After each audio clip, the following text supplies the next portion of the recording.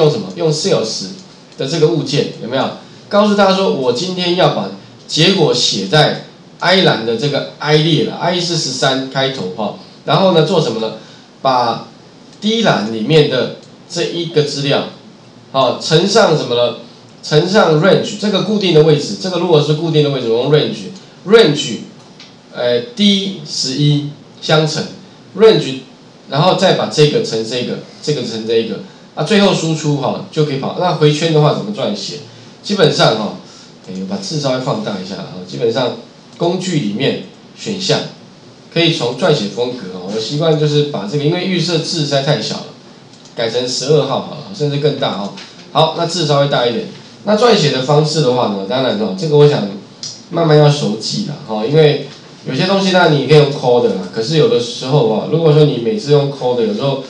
你没办法自己再去创创一些新的东西哈 i 等于一到 next，那再来的话就是哈，输出到哪里？输出到那个 sales，i 列的 i 栏后面是前面是先列哈，后面是栏。那为什么用 sales 啊？主要是跟这个有关系。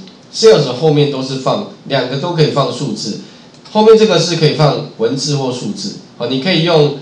呃，i 或者是说你可以算它第几个，比如说它是第六七八九哦，也许你可以这样子也可以啦。它两种方式表示哈，你可以用 i 或者是用九。不过哈，当然呢，如果你写成九哈，有的时候人家还在算啊，a b c d 一直到 i，其实不好理解。所以为什么我的程程式里面通常会写成这样子，主要是比较比较好理解哦。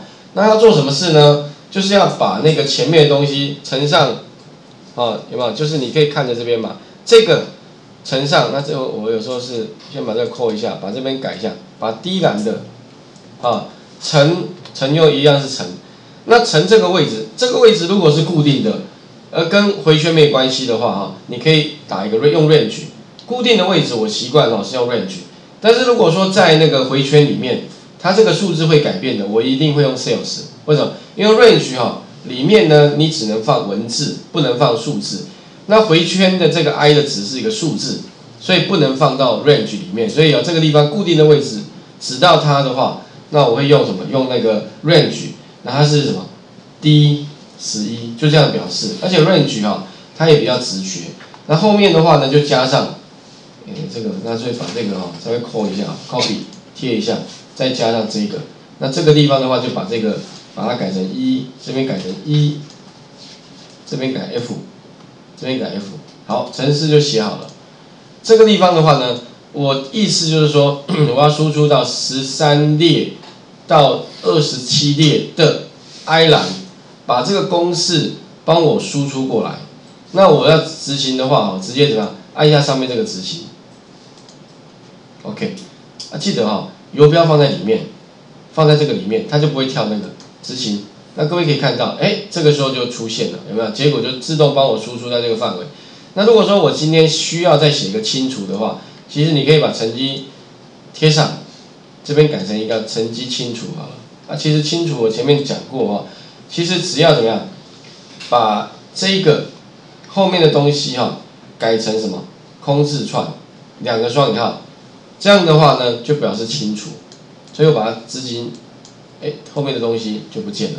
OK，成绩，好，那当然哈，将来有可能就是说你的成绩登录，可能人数会增加或者是减少的话，这个数字哈，二十七应该不是固定的。所以如果说你将来这个数字哈，我不知道说它会在哪一列的话，那我前面有讲过，就是说你可以用去向下侦测的，应该还记得吧？哈，那个那个。那其实那个这部分就是说我游标假设放在这边，按 Ctrl 向下，它会抓到。那在 VBA 的叙述啊，就是比如说我把游标放在 Range 哪一个储存格呢？这个储存格编号啊座号的诶 A 十三，所以 A 十三点点，那最下面一要打个一哈，End 有没有？那你这个时候呢可以点它两下，前刮弧一下。